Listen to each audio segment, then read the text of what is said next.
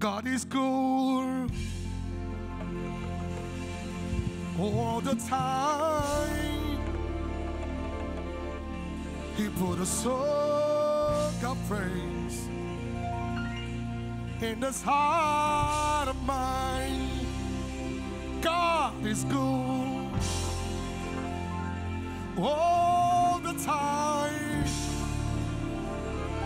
through the darkest night. His light will shine. God is good. My God is good all the time. He is not good sometimes. He's not good sometimes. He's good all the time. I know it might be dark. I know it might not be clear. But God is good all the time. He put a song of praise in this heart of mine. God is good all the time through the darkest night. His light will shine. God is good. God is good all the time. I still got joy in chaos. I've got peace that makes no sense. I won't be cold. I'm not held by my own strength. Help me. I'll put my trust in Jesus. Yeah.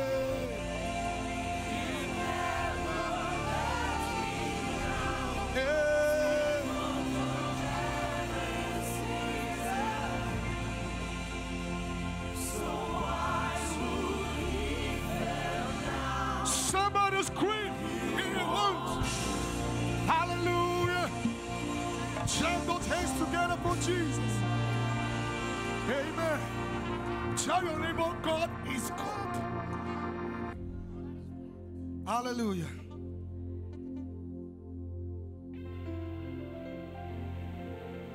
Hallelujah.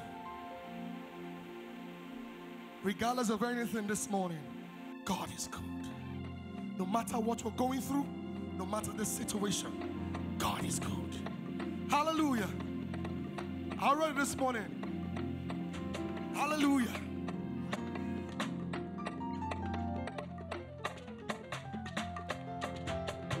It's a good place to dance. Give him your dance offering. Hallelujah.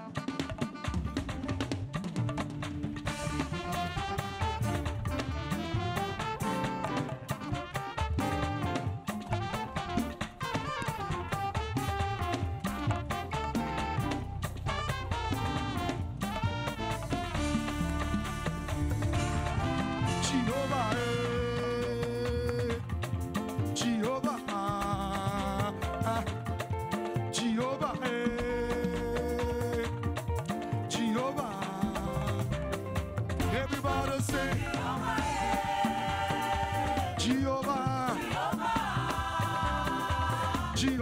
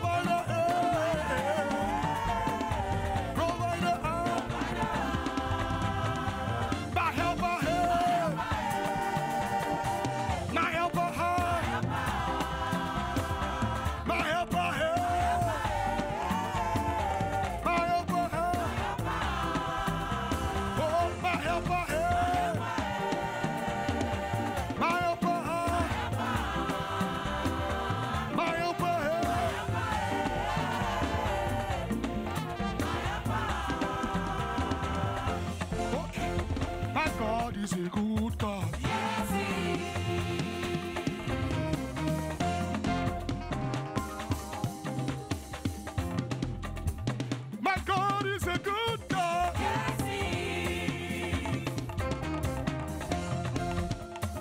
God is a good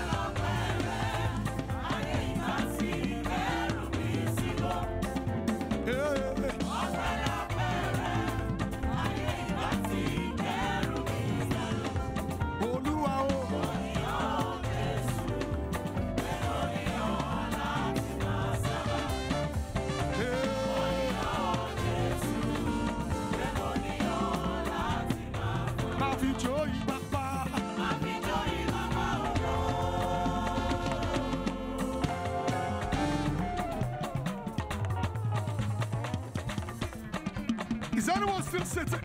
Hey, my feet joy.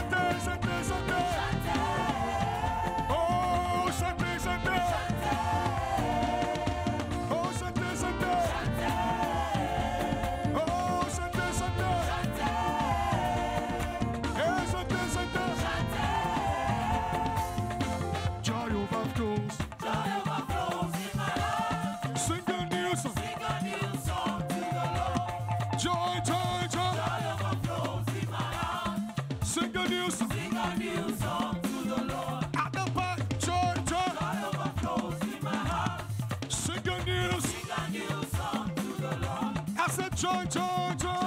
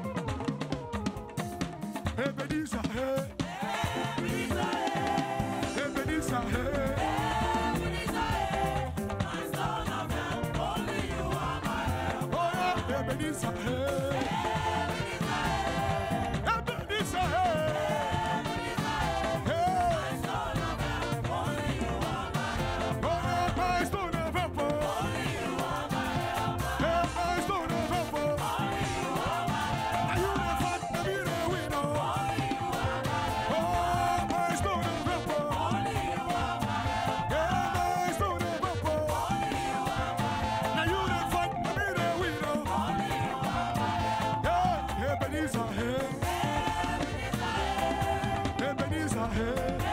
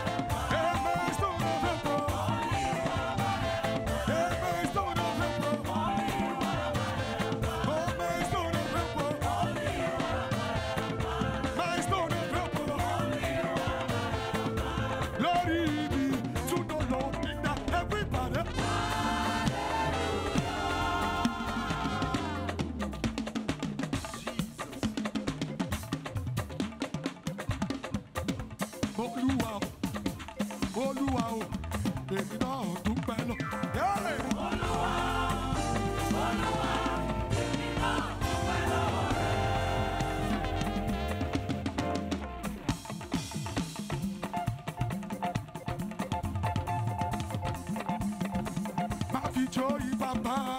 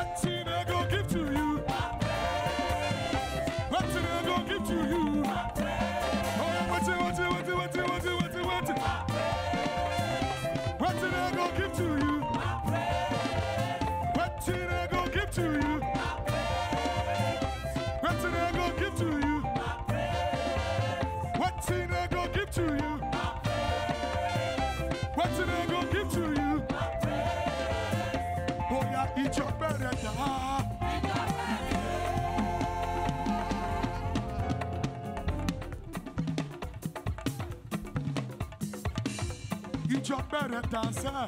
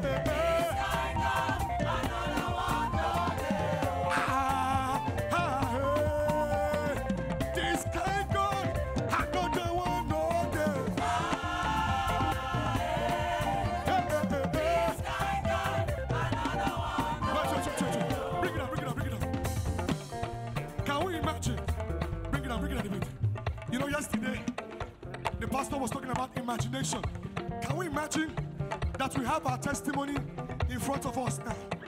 How will you scream? How will you scream? How will you shout?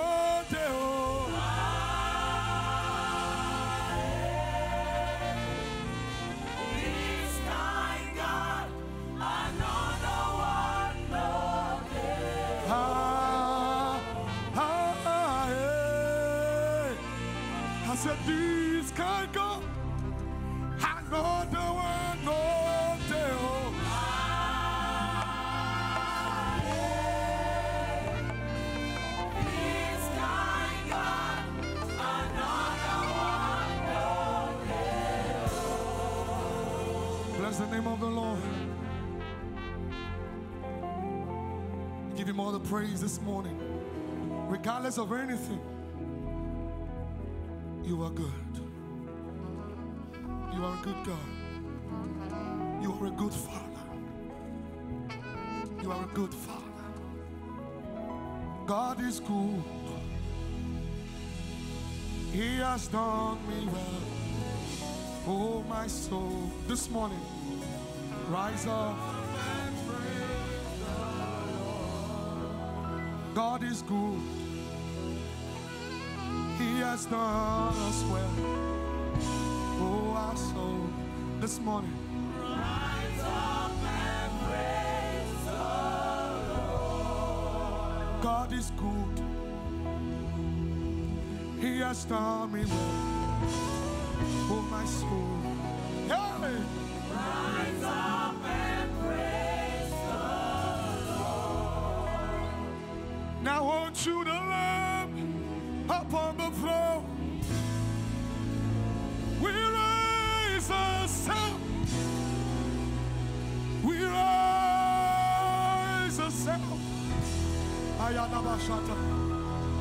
For he is God and God alone.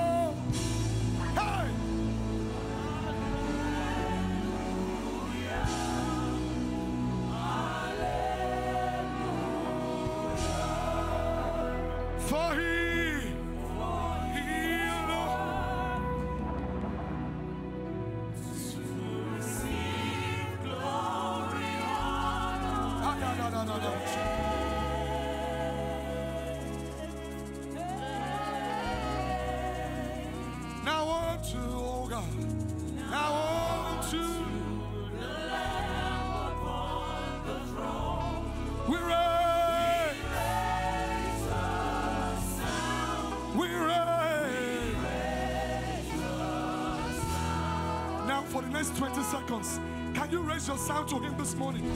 Can you raise your sound to him this morning? Let him hear you. Raise your voice. Raise your voice. Let him hear you. He can hear you. He can hear you. Lift up your voice. He's not deaf. He can hear you. Raise your voice. Hey. Hey, la, la,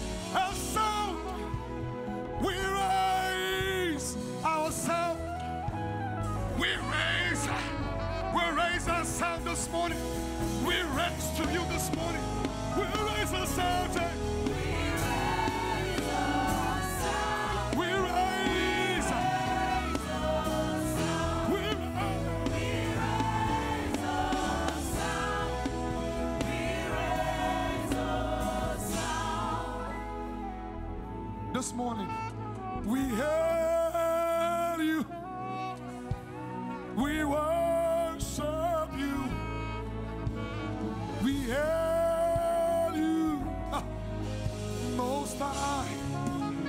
Somebody hail it this morning. We hail you.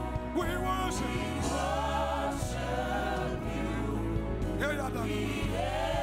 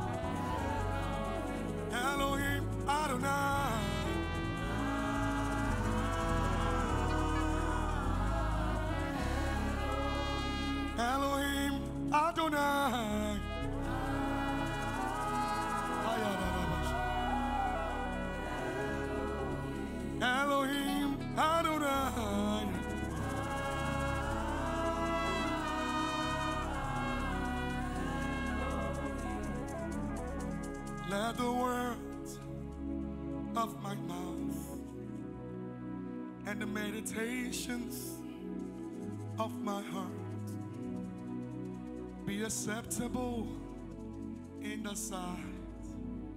Oh Lord. Can we pray this prayer quietly?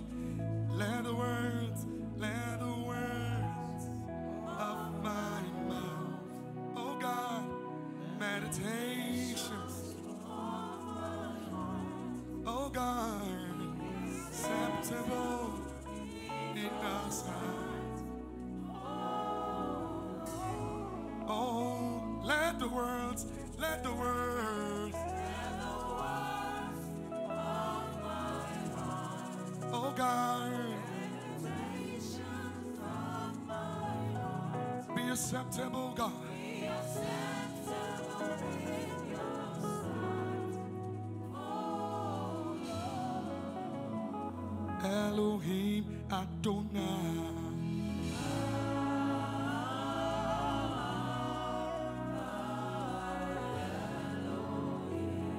Elohim Adonai.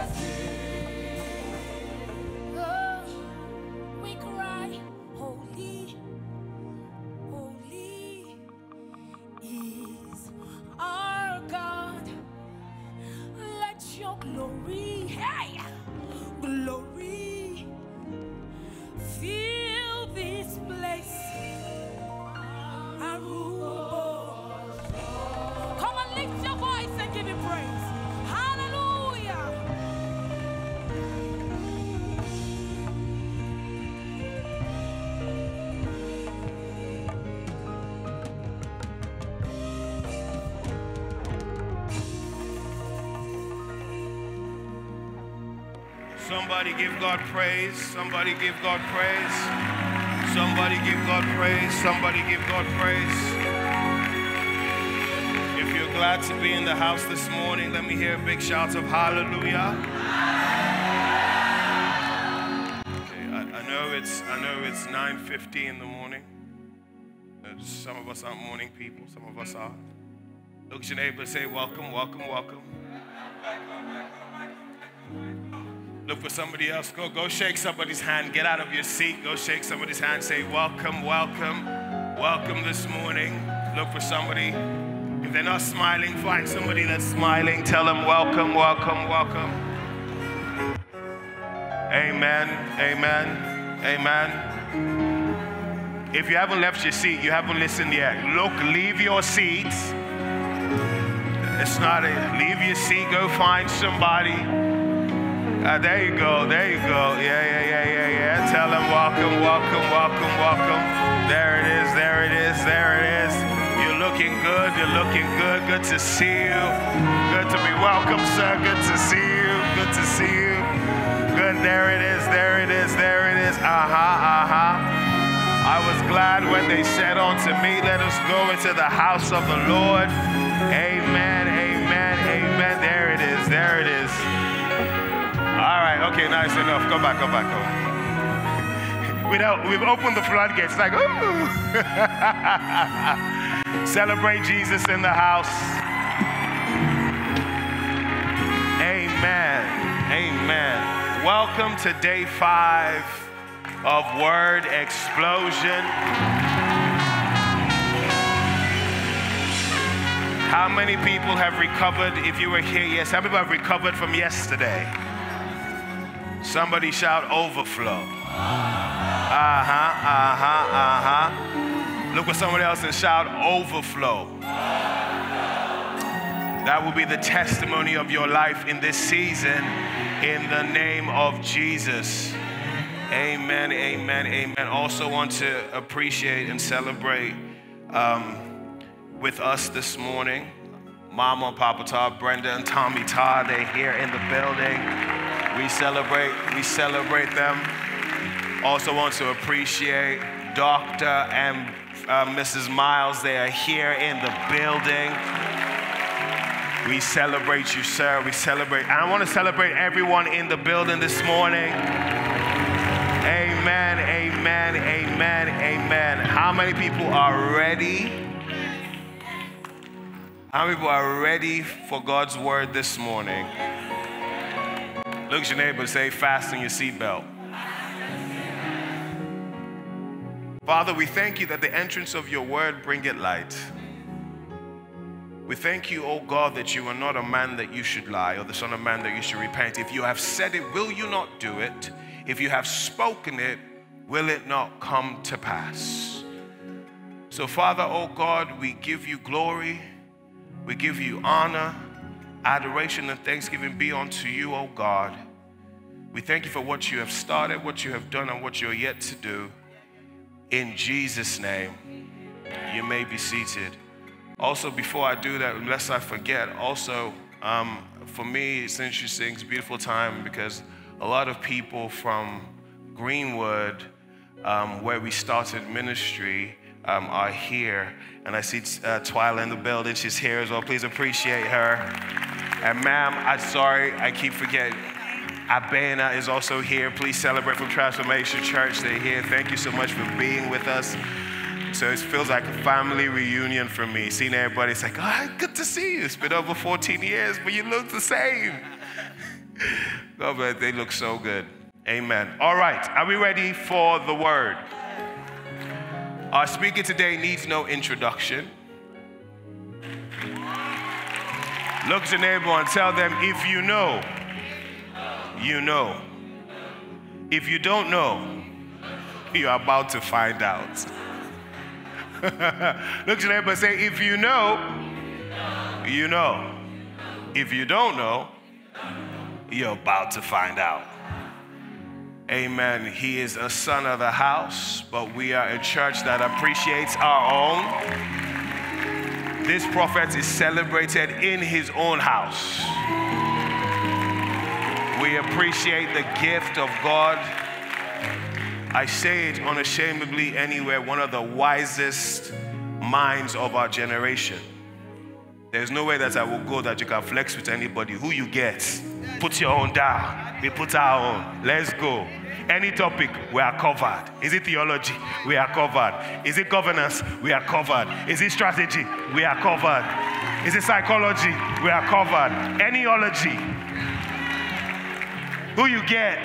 In other words, who do you have? So I'm super excited. Please welcome Pastor Olakunle Soriyan, fondly known as PK. Hallelujah. Give the Lord a shout offering. Celebrate. You may be seated. God bless you all. God bless you all. It's with great pleasure again, like I say every time, there's no place like home. Um, doing whatever I do outside is inspiring for me, comforting, but there's nothing as assuring, validating as when you receive all of that right at your base. That is family, that is priceless. I honor that. I can never, ever take that for granted. And I thank our pastors for their magnanimity and graciousness. Pastor Jay said it every time. We honor our own. And that's priceless for me. The easiest things to do is Jesus that said it. A prophet is without honor except in his own base. You know, so I don't take this for granted. This is not the natural energy. This is anti the energy doing this. So, church, I wanted to help me put your hands together for our pastors, Pastor Jay and Pastor Tolu. Thank you, sir. Thank you, Ma, for your graciousness, for your magnanimity. I don't take it for granted. Um, it's a privilege to be of service in this house. It drives me, um, it governs my thinking, my behavior on many levels wherever I am in the world, right? Again, I want to thank everyone who has made time out to come out, Shawarians who are here, and everyone who's put us out to be here today. God bless you. Um, Papa T and Mama B, thank you for showing up this morning despite all the, you know, itinerary of the last five days. Dr. Miles and Camilla, I love you. You know that. it's a blessing to have you. All our pastors, thank you for coming out. Um, I'm going to read some scriptures real quick. Uh, okay, so I have my book here. If you have time to get to the bookshop, A Love Affair with Failure, like it was announced, forwarded by Bishop T.D. Jakes, published by Forbes, Wall Street Journal, USA Today, best-selling book. Um, if you have time to check it out, it will help you and your understanding of winning and um, territorially, if you know what I mean. So if you have your scriptures, you want to just open very quickly. I'm just going to read quite a number of them, and then we move on. The first one I'm going to read is in Genesis 1:27. You all know it. Sorry, Genesis 1:26 to 31. And God said, "Let us make man in our own image, after our likeness, and let them have dominion over the fish of the sea, and over the fowl of the air, and over the cattle, and over the earth." and over every creeping thing that creepeth upon the earth. Right? Uh, my next scripture is 1 John 4 17. 1 John 4:17. This is how love is made. Thank you, sir. This is how love is made complete among us so that we will have confidence on the day of judgment.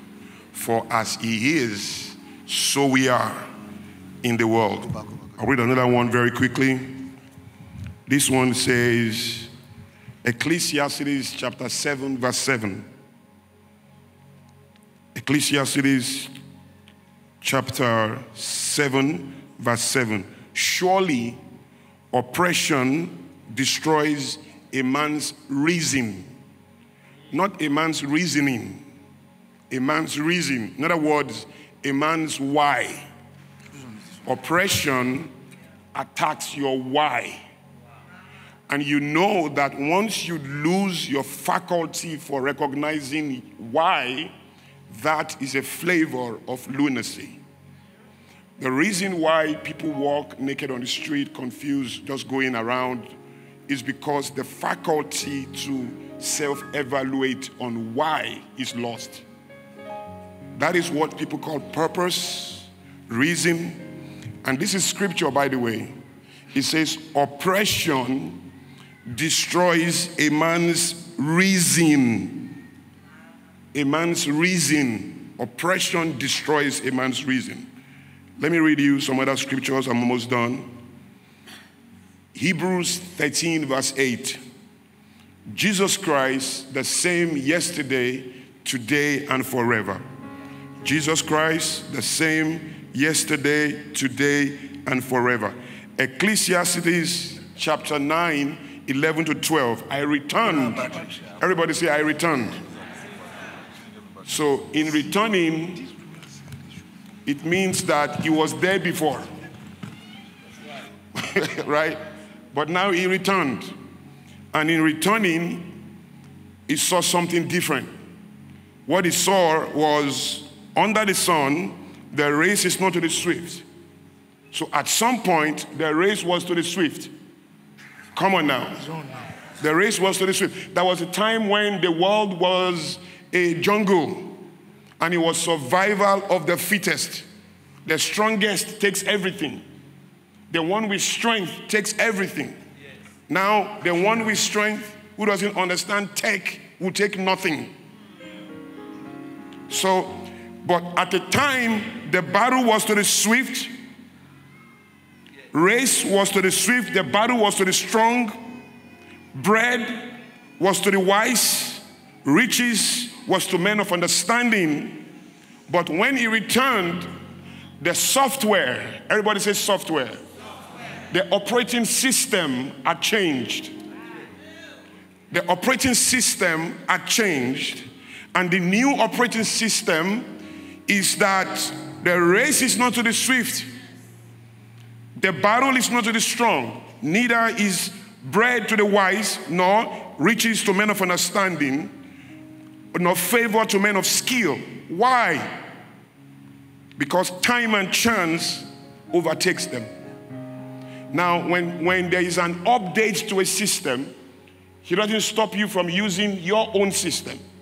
But if you don't take the update, your system becomes slower, vulnerable to attacks, and begin to malfunction. But you still have the system.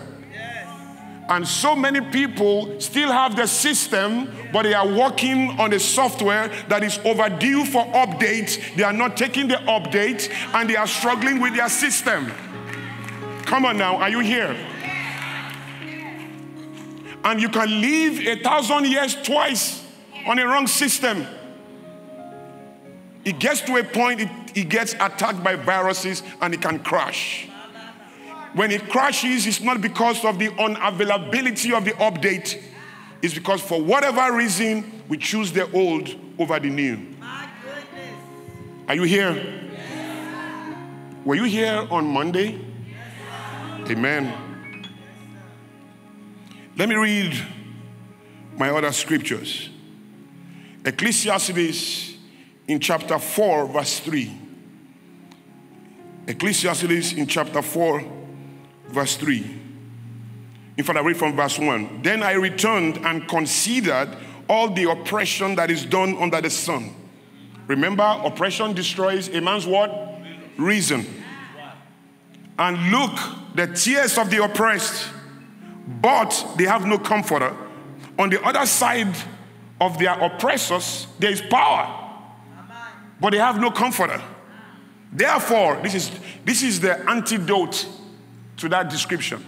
Therefore, I praise the dead who were already dead. So, death has praise. Death has praise. Death is not loss. Are you here? I praise the dead who were already living because there are three people here the dead, the living, and another person that is the most interesting person in this conversation. Therefore, I praise the dead who are already dead more than the living who are still alive. Yet, better than both of them is he that was never born. Better than both of them is he. So there is an existence that does not have to kiss the earth.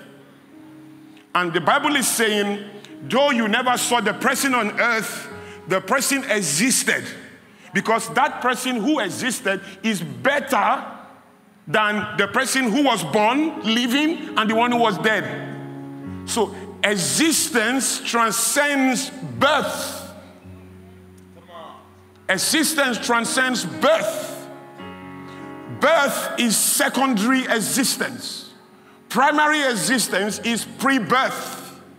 So there is pre birth, there is birth, and there is post birth, otherwise called eternity. Come on, are you here? Yet, better than both is he who never existed, who has not seen the evil that is done under the earth. Amen. Let me show you one more verse and I'll get into my message. Are you here? You know, I'm not going to return to read these scriptures again, so I'm just going to run through them. Now, you open now. Oof. Mm-mm. My internet is now the new weapon against me. Internet. Oh no, I don't have this time. You are in crisis, isn't it? Okay. So the scripture actually says that that if you live a thousand years twice, it's in Ecclesiastes, I'm trying to. If you live a, a thousand years twice, somebody help me Google a thousand years twice, Ecclesiastes. A thousand years twice, Ecclesiastes. Once you open it, you show me. But the message in the scripture is that Six what? Six, six. Okay.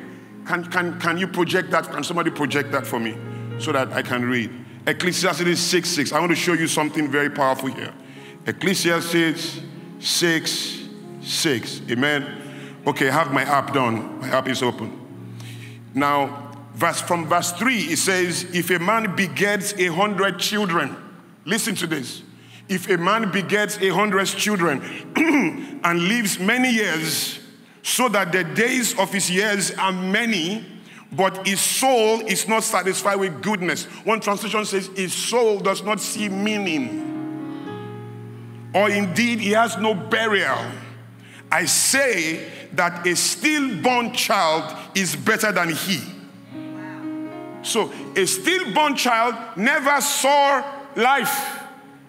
But the Bible says, though he's stillborn, what is the oldest stillborn child? The oldest stillborn child anytime in history. Oldest. Doc, Doc, you can tell us. The oldest stillborn child is nine months. No stillborn child can live beyond nine months. Am I correct? Otherwise, he's alive. Am I correct? So, a stillborn child is a child who was dead in the womb and dead on arrival. So the, the oldest is nine months. Now, the Bible says that a child, a stillborn child can be one month, can be two months, can be three months, five months, but can, and I, I, I experienced one. I experienced the loss of one. So I know that the emotion is the same. Whether, you, whether somebody lose a 10 year old, God forbid, or a 50 year old, or a five month old, particularly if you've believed God for eight years and then you got pregnant and then in the fifth month you have to lose the baby again right? I experienced that.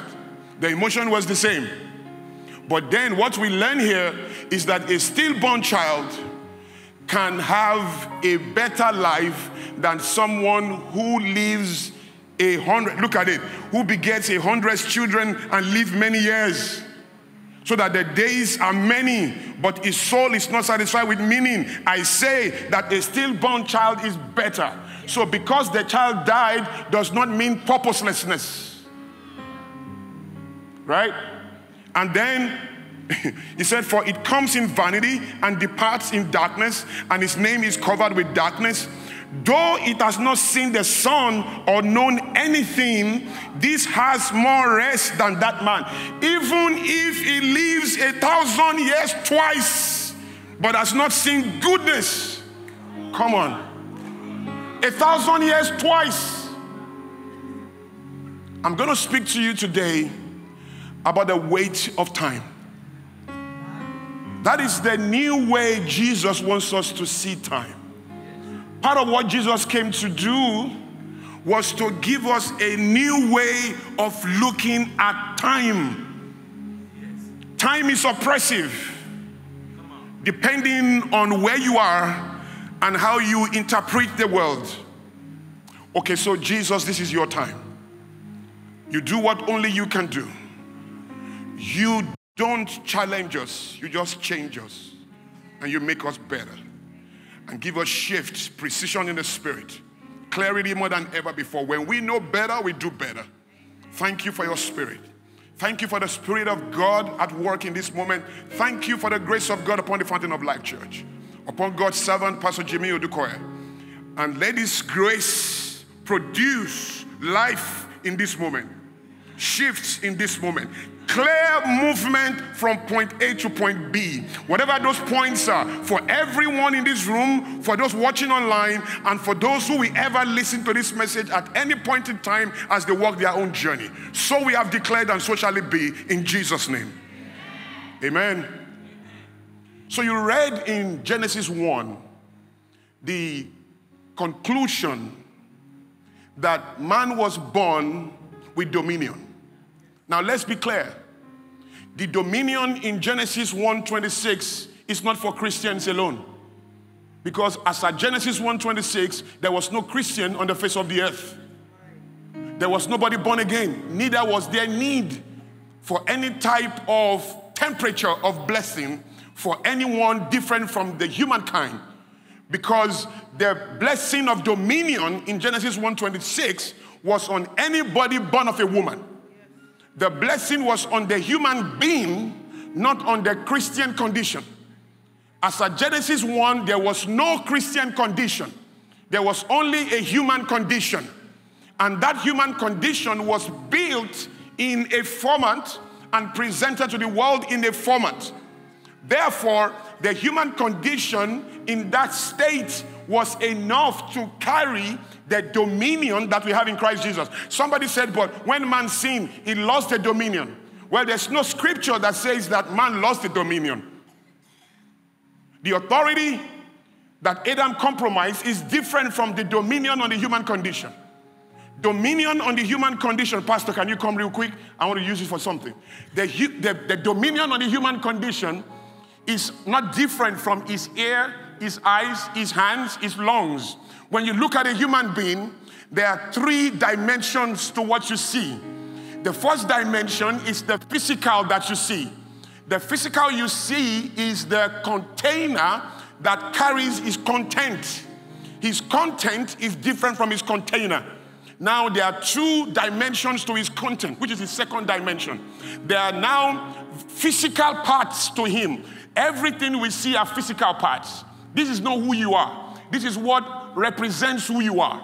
This is what some people marry, but this is not who they should marry. Because who they should marry is inside of you. They are here to meet that person, and this person can never instruct performance or association or integrity. This person is limited. And as Pastor we say so many times, if what you see is all you see, you are blind, right? Because there's so much more to this than we can see. So this is not your guy. You don't love this guy, you have to love something else. So, but before you meet that person, you meet something else. The physical parts of this guy that are not visible to you. In other words, his physical parts that are covered. These are his physical parts that are not covered. His physical parts that are covered are his lungs, his intestine, his, his, his heart, his, his, his kidney. And all of those parts, they are physical. We can touch them. If we can cut you open intelligently, we'll bring everything out. If it's a killer, that's it. But if you can cut you intelligently, we'll bring it out, right? Because they are physical, but they are covered. Now, there are third dimension of you, which is your invisible, intangible parts. For example, your reasoning, your strength of thinking, your strength of character. We don't see those things, but they govern your second and your first dimension. Are we on the same page? Now, you don't see them, but they are there. Part of those is his dominion. So, his dominion is another organ that defines this person, but will never go away. They are there. You can corrupt it, you can keep it latent, you may never use it. So, when man sinned, the Bible did not say, Curse is your dominion. In fact, are you aware that God never cursed Adam? He never touched Adam. What did he curse? The ground. Cursed is the ground because of you. In other words, everything Adam had before the fall, he still had after the fall. What he did not have anymore is ease. Because before the fall, anything Adam needed, he got it one time. It was always available. So before the fall, he had this with him. After the fall, this has gone somewhere in the audience and you don't know where it is. The meaning of in toiling you will eat, all of that, is that to be able to access this now, because the Adam is now cursed, he will now begin to toil. That is why I tell young people, you don't have a hustle. You are not a hustler. You have to stop hustling. Hustling is a consequence of the fall. It's not your destiny to hustle, ease is your destiny. And now that you are restored in Christ Jesus, you are back to ease. So, part of what is happening to Adam, however, is that what he used to have access to easily, he will now have to guess and hustle his way through. So, here is he, he wants that book. One month, he thought he was here. Third month, he thought he was here. Two years, he thought he was here. Sometime in the fifth month or in the fifth year, he found it here. Now, he didn't need all of this before the fall. Before the fall, he had control over this dominion over everything. After the fall, his animals that were pets are now adversaries. And everything changed. Am I talking to you? Are you sure? Thank you, Pastor. So listen up, guys. Listen up, guys. So now he's got dominion is still on him. And if you want to prove, you want to prove that that is true, go to the circus and go and see snakes obeying human beings. Lions jump. Right? You see cobras moving to songs, to keyboard. You see a bear. Animals, dangerous animals, responding to human control. That's dominion right there. And those that control is not led by spirit-filled Christians. Those guys are not born again. The intelligence is to imagine that if Adam had dominion over the fish of the sea, how was he naming them then? That's it.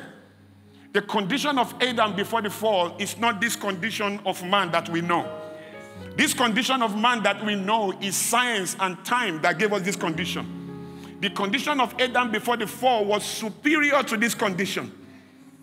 How did he name all the fish in the sea? How did he name them?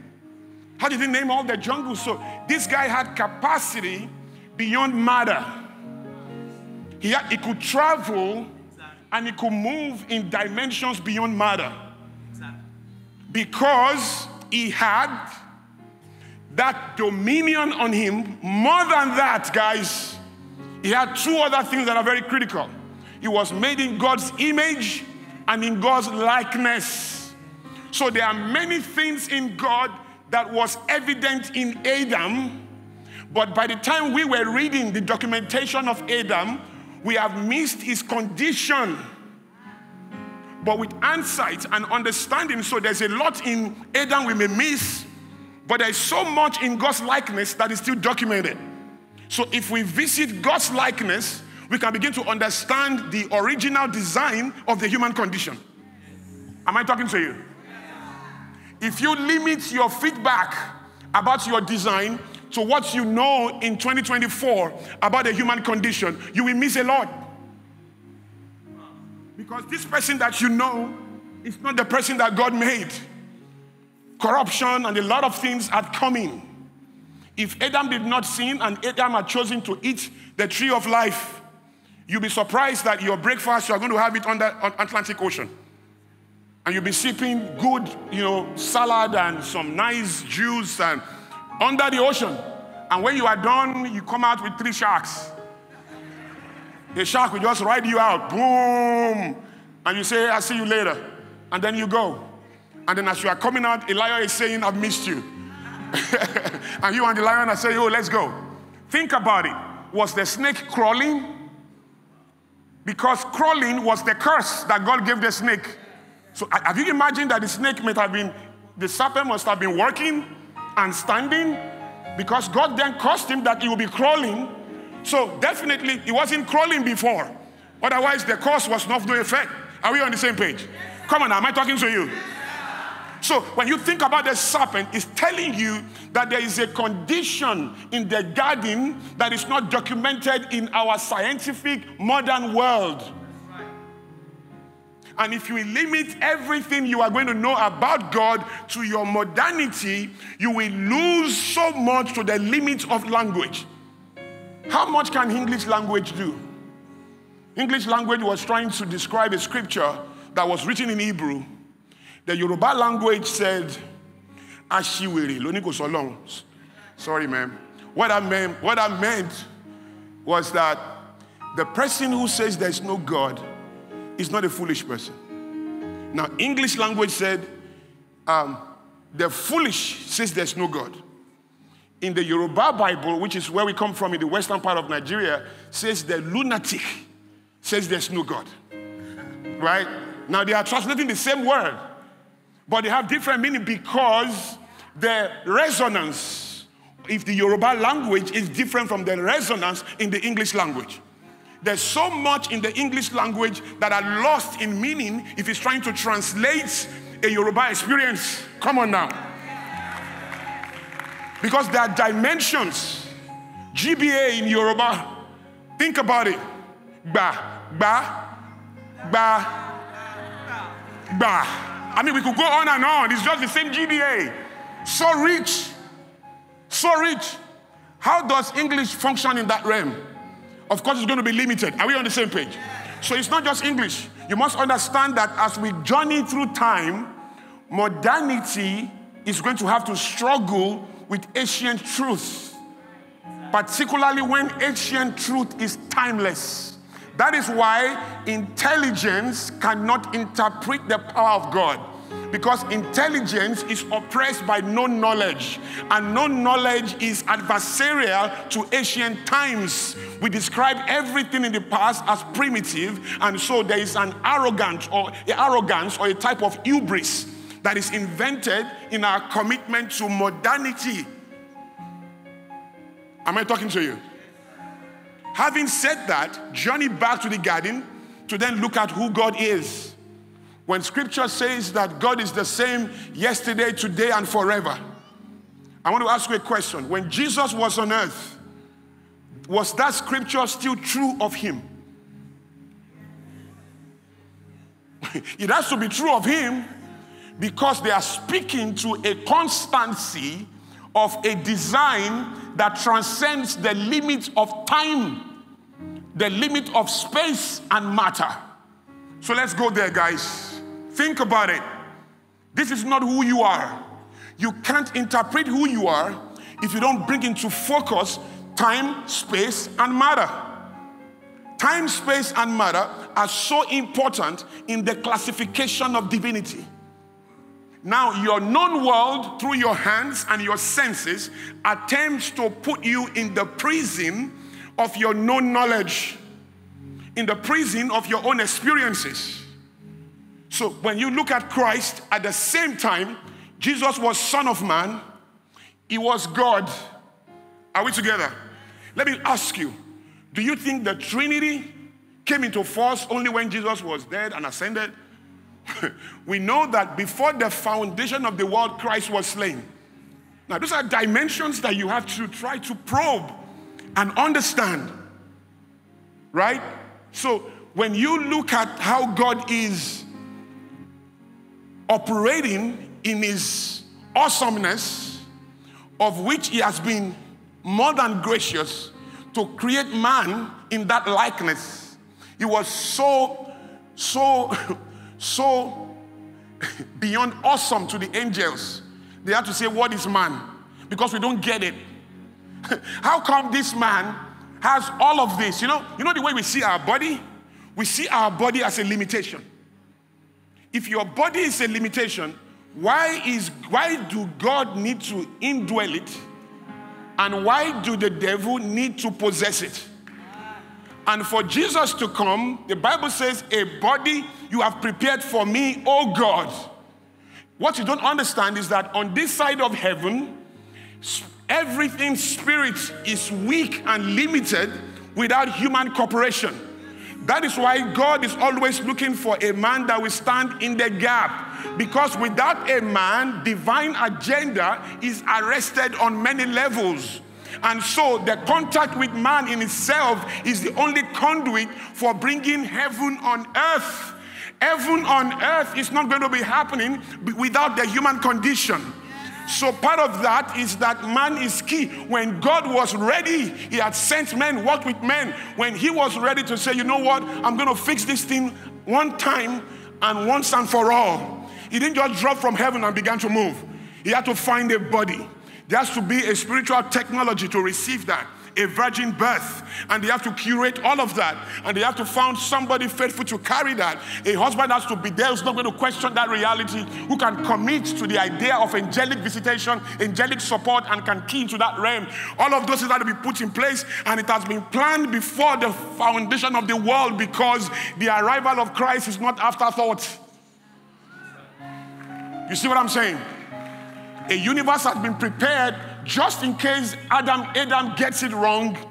This is the next plan. If he gets it right, this is how we roll. So there's nothing you can do that shocks God. Your mistakes does not shock God. He anticipates them. That is why all things work together for your good. It's a scripture that is an arrangement for your imperfection. Because if you can work everything out by yourself, that scripture will be unnecessary. That scripture is not for those who can fix everything. It makes all things work together for your good. It's an arrangement for your imperfection. You see what I'm saying? Are you sure? So he prepared for that of Adam. If I have time, I will break down to you how the voice of God works in the human condition and in the spiritual condition. And how human beings who don't serve God, who don't speak in tongues, who don't do vigils, are able to break into some plans in God because God allows the human spirit to rove and to move at that level without inhibition. Do you hear what I'm saying? So let's go back there. So you then look at Christ and then you look at God and you look at God in all his awesomeness, and he has placed that in man. Now, if you go to Jeremiah 1 29, which I forgot to read, he said, listen, Jeremiah 1 1, sorry. Jeremiah 1 1, all to verse 3 4. He said, I've ordained you a prophet to the nations. But this is what he said, guys.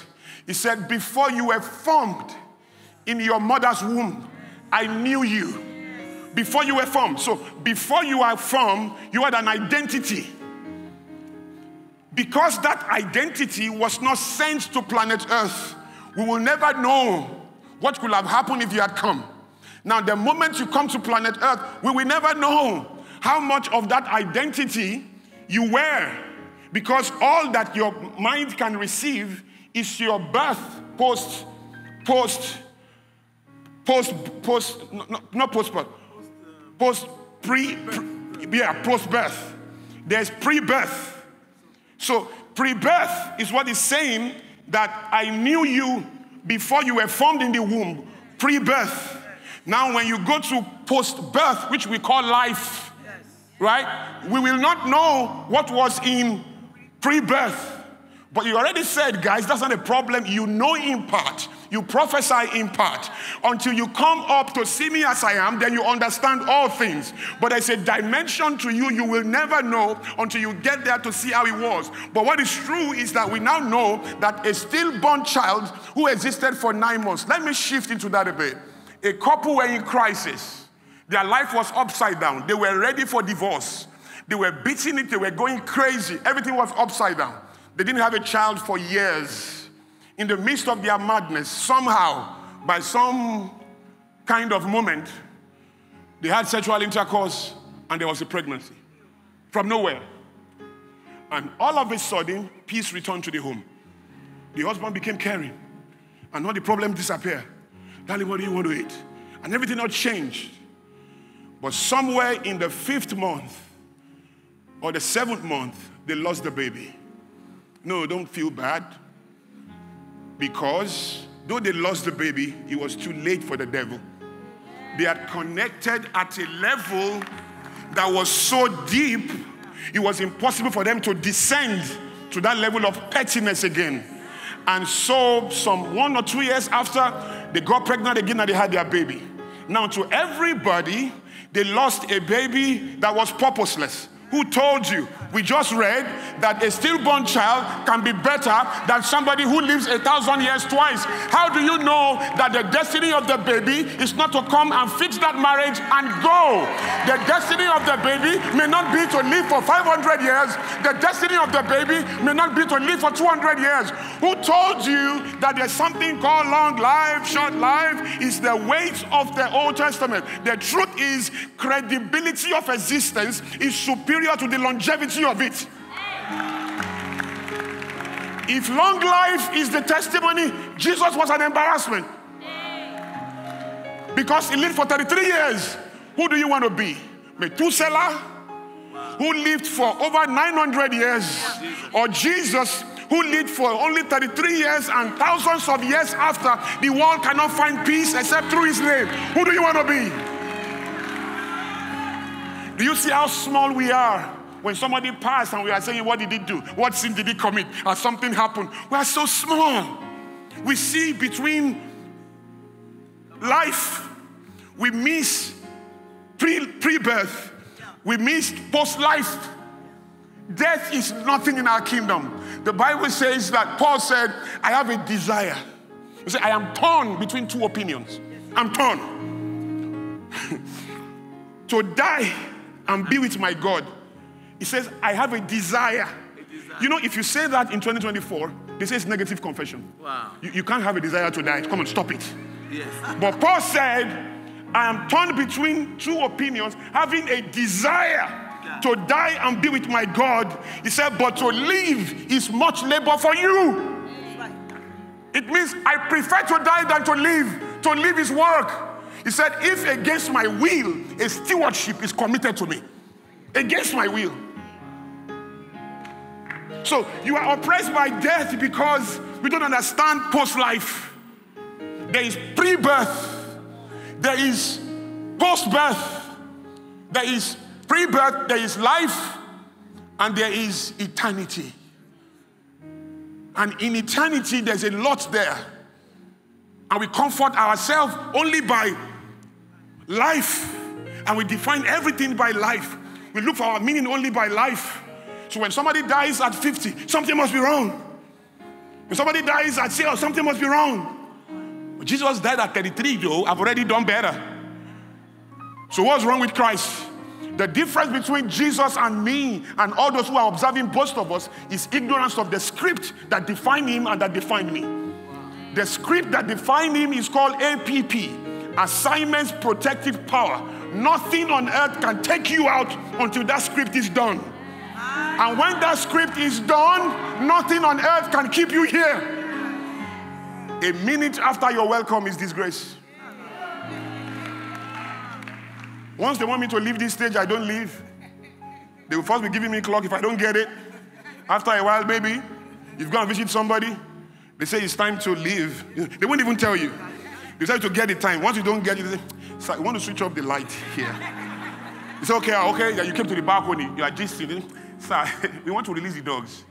Once it's 8 o'clock, we release the dogs. Say, okay, okay, let's go to the gate. You get to the gate, they say, bros, you need to go. You know, we play drum for you, we play the piper, you are not getting it, you need to go. Because once you overstay your welcome anywhere, is disgrace. You don't need to look forward to long life.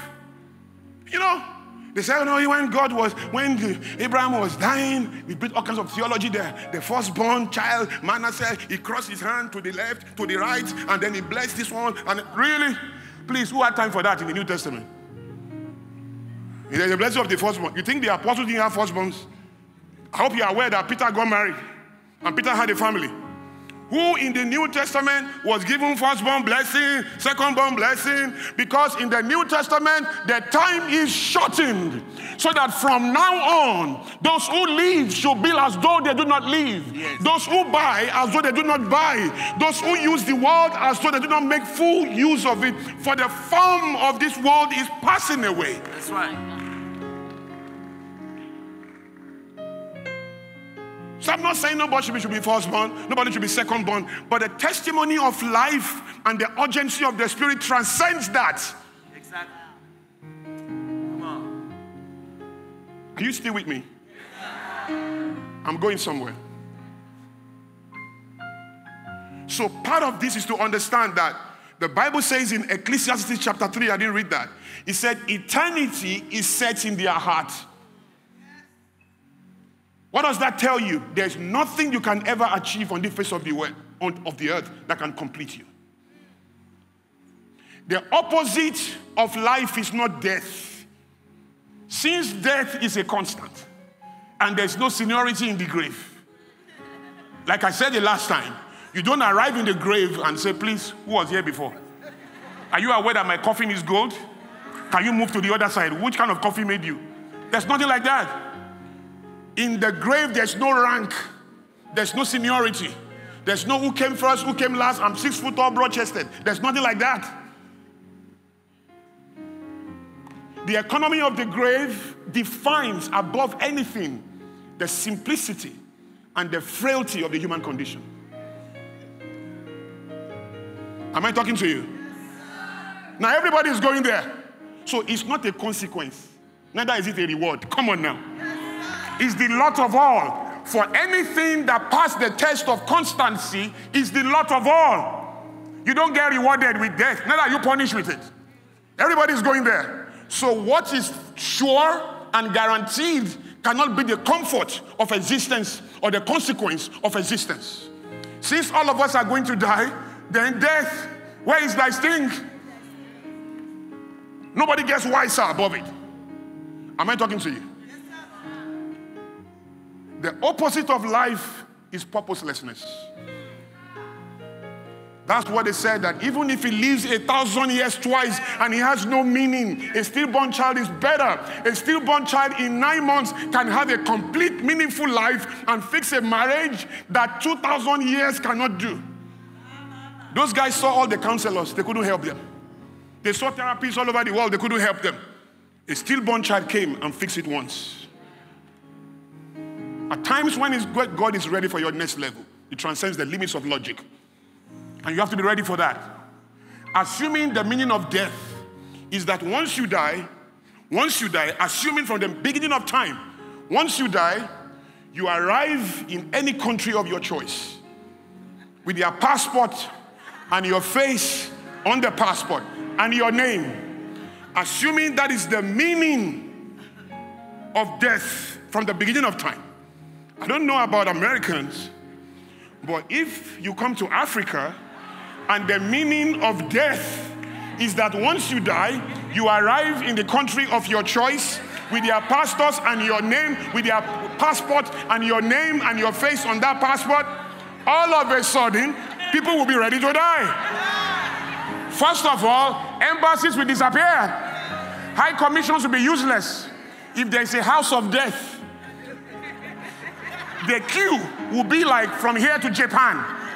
People will be queuing to die. Somebody will even go there and say, Excuse me, are you the killer? You say, Yes. And so this is the idea. My brother was here yesterday.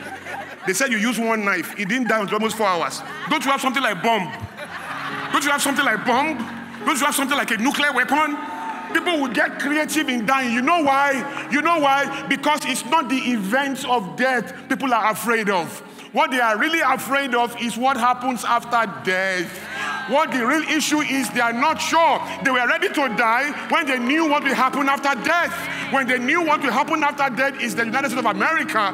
When they knew, just imagine all those guys in Mexico all those guys in Colombia who are trying to beat immigration and come to the US, just imagine that death meant arriving in any country of your choice. They won't need to go meet anybody. They just be committing suicide. Boom, boom, boom. And be arriving in the country of their choice.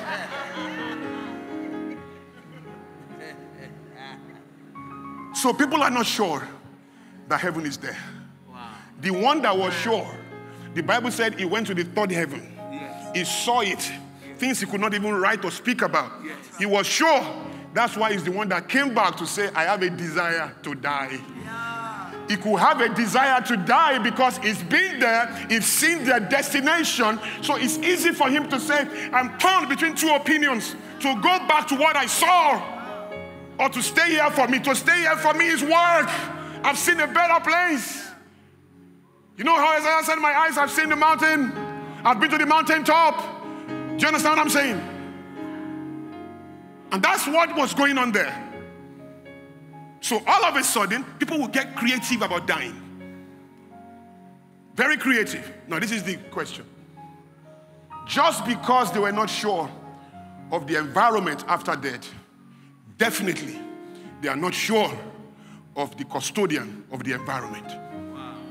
So people are afraid to die not because of the event, because when they knew the destination, which was America or London, they were ready to die. The event did not scare them anymore. The reason why they are scared is not the event, they are scared because they are not sure what is there. And if they are not sure of the environment, they doubt the custodian.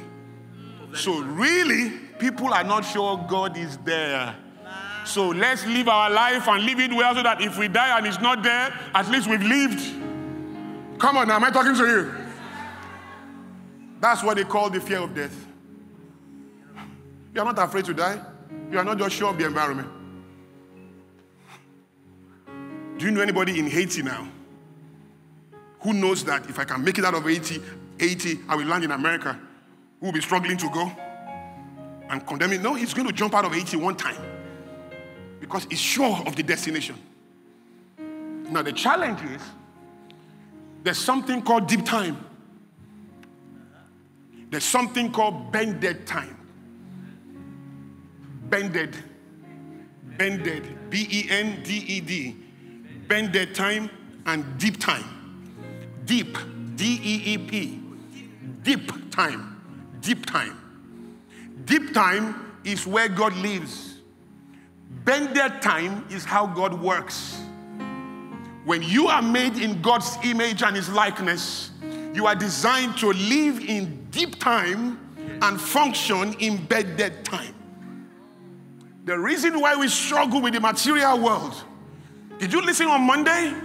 That everything material represent a metaphysical truth. That everything material represent a spiritual truth. Your shoe has a spiritual truth that it embodies. Your wristwatch has a spiritual truth that it embodies. Your food represents a spiritual truth that it embodies. That's why Jesus said, Man shall not live by bread alone. It's not saying you don't eat bread, but it's saying every time you eat bread, understand that it represents a spiritual food. It represents another food you should be eating. That's why they said, You are hungry. What have you eaten? He said, My food is to do the will of my father to complete it because he wasn't about physical food. There was something parallel to that idea of eating food that was deeper than biology. But when you limit your consumption to biology, you have no idea what you are missing in the economics of consumption. Do you know there are people in this world who will never say sorry? Can we do dinner? Can we discuss that over lunch? If your soul is not liberated at a level, you will never say. You can live 80 years and never say. Because to you, food means eating and being full in a moment. To some other people, food is a tool even for business transaction. But you can be so hungry and die in the immediate physical power of a food. You will never see it as a business tool. The reason why rich people can say, Can we talk over dinner? Is because dinner for them, even when nobody is there, is more than just eating. Come on now, am I talking to you? So when Jesus said, Man shall not live by bread alone, he's calling you to a higher version of yourself. He's saying, even as you eat, let this food remind you that is a version and a dimension to you you are yet to meet. And if you have already met this person, understand that this dimension to you, you have to manage. You have to protect. You can meet yourself at a higher level. On a daily basis, elevation is taking place in the spiritual condition. Just imagine that all your life you are going to be 10. And 10 years from now, you are still 10. And 20 years from now, you are still 10. What's going to happen? That is supposed to be a problem in medicine. Am I correct, sir? It's a problem. And at 24, you still have diapers on. That's a crisis right there. And people are like that, I don't cast, I don't cast aspersion on them. But people are struggling with that. So growth is proof of life. Now, I'm coming to deep time and bed time. Um, this thing moved from 26 minutes to zero.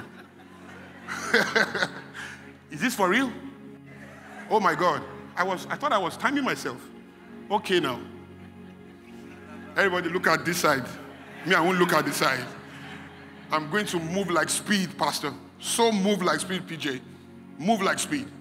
So, guys, listen to this. Pastor Shola, good to see you. Listen to this, guys. Cha cha cha. Bend the time. Now, listen, there's something in science, there's a theory in science called parallel universes. Is the idea that, and I'm explaining in layman term, you can be in more than one place at the same time doing two different things, doing multiple things. That is parallel universe. Before you say, oh, so how do you do that as a human being? No. The Bible says you are here in this room. The Bible also says you are seated with Christ in the heavenly places. So you are here physically, but you are seated with Christ in the heavenly places. So that is a parallel universe. There's a universe you are in that we see you in. There's another universe you are functioning in, but to declare your authority and to manage the judgment according to uh, Psalm 149, the last verse, that we bring this judgment to the world and we join, judge the elements of the world. You will never be able to function in that authority if you don't understand that there is more to you because there is a you that is blessed with every spiritual blessing in the heavenly places. So at times when you look to heaven for what is already yours, is a conflict of understanding. Exactly. Everything you are praying about has been given to you. Everything. The performance of the spiritual condition is not earth to heaven, it's heaven to your spirit and you to the world. So, this body that we carry, without this body, heaven is limited on earth. So, when, when the spirit enters you with your permission, that's indwelling. When the spirit enters a human being without permission, that's possession. So, but both God and the devil need to live in man. Because if both of them, one of them don't live in that human being, that human being cannot be maximized or retrogressed or stagnated. So God must live inside you. It's not because He's kind to you. It's because it's a necessity of the connection between the spiritual condition and the material condition. The devil also gets that. He must find a human being to live in. That's why people, demons possess human beings. They possess human beings because without the human body, they can't do anything. If a demon can go through this wall to the other side on earth, it's a problem. It's not power. Because if you know that one demon can travel all over the world, his body is limited here. So he can't touch this thing. If he tries to touch it, his hand will go through it. If he wants to touch this thing, he needs to be in human being who can carry this thing. So people say, oh, the devil did this. The devil made me do this. I said, if I want to go to hell now, there's nothing God can do to stop me. Because I'm made in his image and in his likeness. I do what I will, there's no searching of my understanding. If I tell God I'm going to hell, I'm going to go to hell, he can't stop me. He can negotiate. He can send angels. He can try to convince me. He can send me data. He can send me information. But if I choose to go to hell, nothing can stop me. Now, if God cannot stop you from going to hell, how do you tell me that the devil can stop you from doing anything?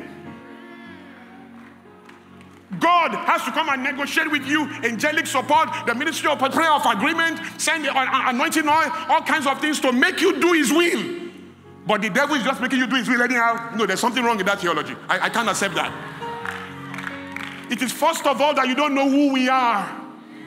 When you understand who we are, you see that God needs your cooperation to achieve his agenda of the earth if God needs cooperation, the devil needs more than that. Don't let me go deeper than that. Let me just let you understand. Because there are dimensions to that. Because the dimension when you understand that is that no demon, no devil, no witch, no wizard can take you. there is nothing in jazz, there's nothing in voodoo. The reason why voodoo works is shared belief.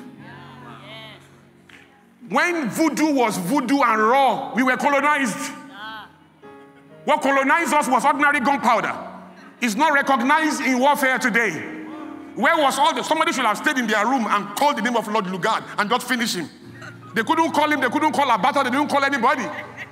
It's not that serious. The reason why the white man got away with everything in that sense was because he did not share belief with the Africans who were trying to get him with their cheap psychology.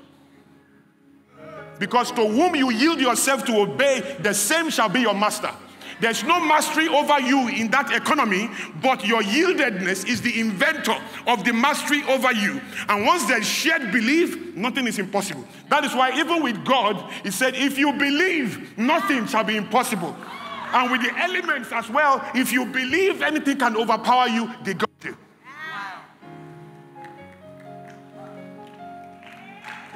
Am I talking to you?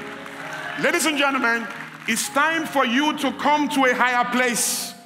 The dimension of territory around and available for us to take transcends the limits of how we see the world. So, to close this in six minutes, bless you, bless you, thank you, Pastor. To close this in six minutes, what I will tell you. You are also in parallel universes because you are made in God's likeness. You are also supposed to be in t- before time in time and after time. That is what they try to call your avatar. This is who I you are seeing me here. But the, my avatars are busy in different places. My son is where he is. There are things he cannot do. Even though I'm not physically there, I am there, functioning not as a pastor or a speaker, but as a dad. You are in multiple universes. When people say, How can three be in one? I say, Well, I'm already over 50 in one. There are people meeting now based on my thoughts somewhere. They are organizing based on my thoughts. I'm not there. But a representation of me, which is my avatar, is there.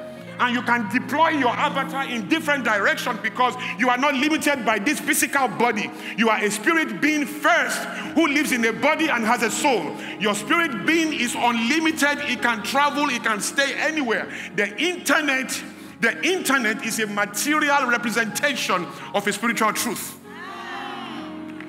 The idea that from one spot you can move and do things borderless in the world, that is possible in the internet, trust me, is more than possible by your spirit.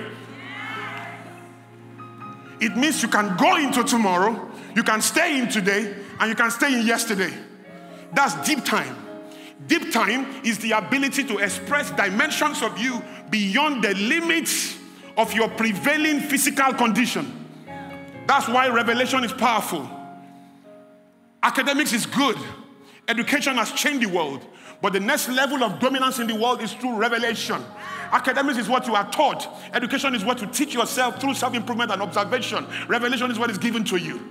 And as we move into the future, a walking, talking with the, with the Holy Spirit is the highest level of manifestation because human education has been tamed by advances in everything. So the guys who are giving you internet, AI, virtual reality, believe me, they are functioning beyond logic. There's no way logic can be your master and create or understand virtual reality or understand the metaverse. You can't key into those things. You can't operate into those things. How much more to make money? Look at blockchain. Look at cryptocurrency.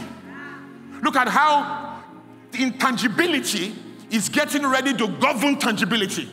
The truth we have always known in scripture, and now science is showing us that intangibility is not nothing. Zero is not empty. Zero is a lot. That is why the world was made out of nothing. Because zero has properties that can make beyond what the eyes can see. And anything you see physically on the screen is two figures zero, one, zero, one. So zero is a property for creation. But when you are in zero, culture trains you to be afraid of zero. You dread zero. You don't want to be in zero. But if you sit in zero, that is the energy that created the world. The energy of invention is from nothing. When you need something to start, it's called one to infinity. It's horizontal thinking. is from you to the world. There's vertical thinking from heaven to you. That is zero to one. Have I helped you? So, guys, this is how we take it home. At every point in time, you have to psychologically, I use that word intentionally. Everything you call affirmation, listen. Anything you want to believe. Do you know if we hear a sound now? I say this humbly. If we hear a sound from nowhere, boom, I'm not moved. I don't say, oh, first. It's okay to do that, but I don't. I used to. I've trained myself out of it. How did I do that? God has not given me the spirit of fear, but of love, of power, and of a sound mind. I am as bold as a lion. I fear nothing. I documented it, I wrote it down in my voice. Because when you read the Bible, you are not hearing yourself. You are still trying to sit in that moment. But faith comes by hearing. When the Bible was written, they didn't have auditory strength. Now technology has given us auditory strength. I can hear myself. And so through autosuggestion, when I read without talking, there's a limit to how I can capture it compared to when I read and I'm hearing. So, if I say I'm fearless and I'm hearing it in my own voice, so I challenge you. Everything you want to be, write it down. Instruction. You want to be strong, you want to be bold, you want to be whatever you want to be, write it down. Take it into your studio or on your phone in your own voice. Recite it with drama, with energy. I am fearless. I fear nothing put it down and make it your ringtone and put it on your phone and begin to play it and begin to hear it. You won't need 90 days before you find a new state of consciousness living inside of you. By the time you do that for one year, two years, fear is gone. You can't continue to visit scripture on your terms when you like and expect the power of it to reside in you. It will visit you, it won't have residence in you. Residency comes from consistent, repeated con- effort. Yes. That is meditation. What do you want to believe? You can completely deceive your reality. You know your brain does not know the difference between truth and lie. That's right. Faith is the deliberate articulation to deceive the brain. You can make your brain believe anything, but you have to speak to the brain consistently with the words of your mouth. The words of your mouth and the meditation of your heart has to come into unison. And then your faith produces. Am I clear? So the consciousness to live in is you are more than this. The best of you is not in you alone. The best of you transcends you. The best of you is enough when you are alone, but the completion of you requires other properties. The top of which is God. That's deep time. Now, into bended time. You know why a car harasses you? You know why you see a Range Rover and say, wow, what a car? and you see a Gucci shoe and say, wow, this shoe one day. And you see a Louis Vuitton bag, you say, wow, what? You know why? Because you are out of deep time and you are not functioning in bended time. Do you know why those things don't arouse God? And there's nothing you can do that moves God? Because God lives not just in bended time, in, in deep time, He functions in bended time. You know what bended time is? It means that God is able to see the shoe you are praising when it was an animal skin on the animal. Then he saw it when it became a shoe. And then he has seen it 15 years from now when it will look like a coffin. Because it will expire. Because anything in the hand of a human being is, comes with expiry. And so the car you are praising now, God sees the car when it was not made, it was just properties in the jungle. God saw it when it was made and shining. And God knows in 15 years' time, nobody will look at this car twice. You only see it now. And if you can see a car, you know why a girl will turn your head upside down? Because you are seeing the girl in a prevailing condition. If you can have the bended time to bend time into yesterday and saw her naked, a baby, helpless, vulnerable, and then you can come into the presence and see who she is and go into the future when she's bended and her dentition is gone and she's walking like this. If you can see the three, there is a calmness, a humility, and an objectivity that will visit you in that moment. How many of you want to defeat the material? How many of you want to conquer cars, money, and all of that? You have to transcend into bended time Whatever you come in contact with, don't greet it with acceptance. Don't greet it with view. Greet everything with curiosity. The curiosity you visit it with is the ability to bend that moment into yesterday, right now, and the future. Everything is nothing before God because God bends everything from today to tomorrow. So get that into your affirmation and begin to see everything. When they bring diamond to you, ask yourself, where is this in 20 years' time? What is even the guarantee you'll be alive with it? So that you don't die and compromise principles where you are. I'm not saying you don't have a car, but please see beyond the prevailing state of that car and know that in 15 years, nobody will look at this car twice. It will look like a coffin. So don't over celebrate it and let it kill you. So, time is a prison. The reason why anything is called slavery is because of time, space, and matter. I'm going to close here. But understand this, guys, as I go. Time and space are one. Without time and space, there is no sense in the material. The interaction of time and space give us the material. Now, you cannot be in time and not be in space. You cannot be in space and not be in time. So there's no such thing as time, and there's no such thing as space. There's only space time because you can't be in a when and not be in a where. And you cannot be in a where and not be in a when. So when you tell me that you have to die before you go to heaven, before you experience heaven, you are attempting to separate time and space, which is impossible. That is why Jesus said, Yes, you are saved now, you are with me here now, but you are also seated with me right now. You don't need to die first because you are seated with me, because in Christ Jesus and in life and His design, time and space are one. And so you can invent and create when you understand that nothing hinders you until here. I won't have time to speak about choices, which is the instrument for slavery. I won't have time to speak about reasoning, which I've explained to you. But I will have time to tell you this your dreams are not supposed to be before you, dreams chase you. Never forget, your job is to use your free mind beyond time to not only see the dream that God brings. Somebody say a dream comes through much activity. That is a type of dream. That is when you are busy, aimless on the earth, you will have silly dreams. But every time Jesus, when Jesus visited Mary, when the angel visited Mary, it was a dream.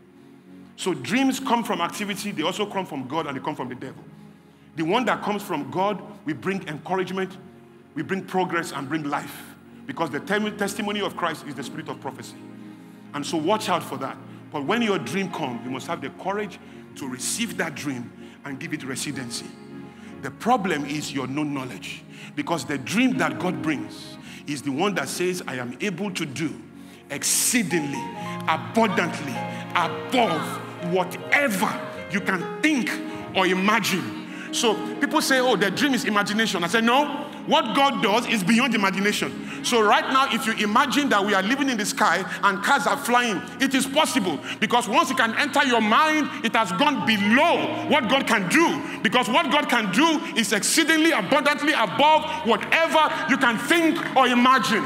So start believing in everything. The first step towards your dream is not capital. The first step towards your dream is belief. And when you start believing, the elements begin to come and conspire. And everything begin to come into zone to introduce you to your nest. Never in your life look at your pockets to design the dreams you have to create. I have journeyed from zero to who I am all day long, not because I have any backup or any sponsor, but the idea that God is the creator that lifted the poor from the dunghill and set them among nobles, that the character of our king is to take nothing into everything. Scripture says, having nothing, yet owning everything. Rise to your feet, guys. I want to pray. I want to pray. I want to pray. I want to pray. Now understand this. Are you ready for this? Are you ready for this? Our, our first prayer is the ability, we're going to pray for the ability to sit in dimensions beyond the physical eyes. You are a God. Do you know you are deity? You are deity. Scripture says that know ye not that ye are gods, to whom the kingdom of God has been revealed. Do you know you can look, just a look can chase all the demons around you away. Just, just a look. But that look has to come from the knowledge of what is operating inside of you. They told me about a girl one time who she said she confessed she has killed so many people. I said, first of all, is she lying? Because she doesn't know the economics of death. So she's hungry and tired. And so she's hallucinating. So the state is seen is not true. I can bet.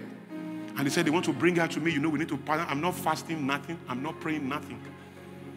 I don't have time for that. When I'm praying, I'm fasting, I'm talking to God. My behavior when I'm talking to God is different when I'm talking to the devil. When I'm talking to the devil, I give instructions. I don't talk to God. I don't talk to God like I'm talking to the devil. Father, do this. No, it's God I'm talking to. I can be calm. Dad, what's up? You know, when I understood fatherhood, it was my pastor that allowed me there. I didn't understand fatherhood because I grew up in a polygamous home. I can't remember me and my dad sitting down to discuss the future. It never happened. So now in Christ Jesus, I can do that. And listen, guys, you have to be able to understand that you have been given everything available in God, not some powers. All power, all authority has been given to you. You are now God's agent declaring on the face of the earth. Now, your combat, your resistance is from the limits of time. But you have to transcend that to know that you don't walk in Chronos, you walk in Kairos. And a day can be to you like a thousand years, and a thousand years can be like a day. So I don't think like that. Oh, I have to be, I have to make this money at this time. I have to be this. I don't even think about money at all. He will do what it will do once there is a believing soul and a believing spirit. So raise up your hands to heaven. I declare, I declare by the Spirit of God, I put a demand on the grace of God on this house.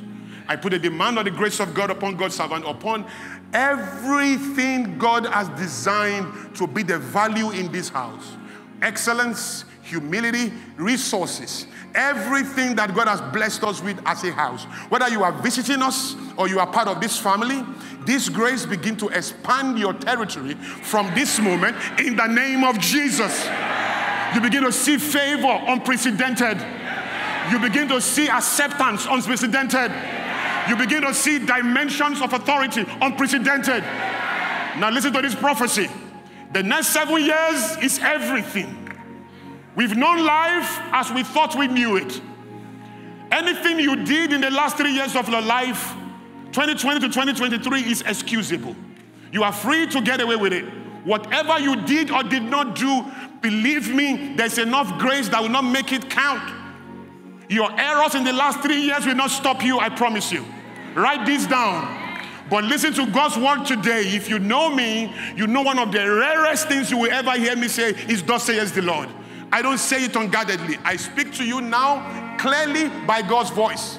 The next seven years is for perfection. The next seven years is the foundation of your next 30 years. Listen to the word of the Lord. If you add 30 years to anybody's age living, they are either full blown adults or they are at the departure lounge of life, ready to take the flight, or they have taken it. If you are one today, you'll be 31 in 30 years. If you are 10, you'll be 40. If you are 20, you'll be 50. If you are 30, you'll be 60. If you are 40, you'll be 70. If you are 50 and 50 plus like me, you will be 80 something. If you are 60 already, you'll be 90. If you are 70, you'll be 100. How many 100 years old do you know? Listen to me, guys. The future is 30 for everybody living on the face of the earth. Now, listen. The next seven years, you know how God spoke to, to Joseph and said seven years of famine? and seven years of saving. Listen, you are in your seven years of foundation. Whatever, listen to me, whatever you did or did not do in the next seven years we form the foundation of the next 30 years of your life. Whatever foolishness you have known in the last part of your life, 10 years ago, 15 years ago, everything is clear now. Clean shit. The next seven years, though, is a precursor and a prerequisite. Don't joke with it. This is the time to sit in the word like never before. This is the time to be working, talking relationship with the Holy Spirit.